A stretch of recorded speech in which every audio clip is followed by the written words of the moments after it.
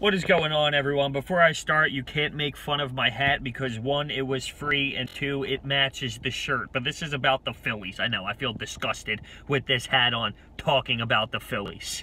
But the game has been canceled today. I mean, this is unbelievable. I finally get baseball back, and I am stuck having to watch nothing because it's not on tonight. I'm devastated. Mother Nature really does not like baseball this week. This is unbelievable. But we have a doubleheader tomorrow. The first game starting at noon, which Nick Pivetta is on the mound, and then at 6 six o'clock, I believe the second game is, is Vin Velasquez. So then tomorrow is just a kickback day. Hopefully, it doesn't rain then too, because it's supposed to storm all weekend. If I don't get any baseball win, I don't know how I'm gonna live.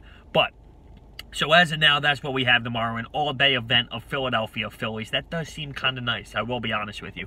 But on top of that, we have Tiger Woods. This is amazing. He is literally in the the the back end of this tournament on a Sunday in a red polo. This is unbelievable. This is the greatest thing you could ask for as a golf fan. I mean, you have to be rooting for him for everything he went through from getting beat with a nine iron from his wife to the back surgeries to the sex addict. Tiger Woods has a chance to win something big tomorrow on a Sunday, and uh, you got to be rooting for him. If you're not, you're a sicko, and I want to know down below if you are, but you should be. I mean, come on now.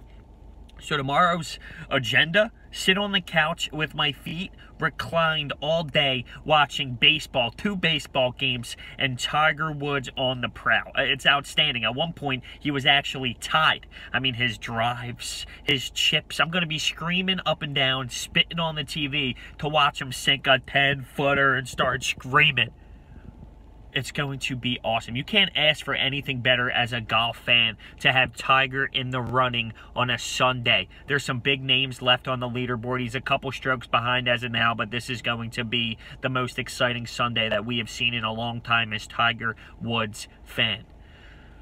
I hope the weather holds up for the Phillies, though. We need this. We need this.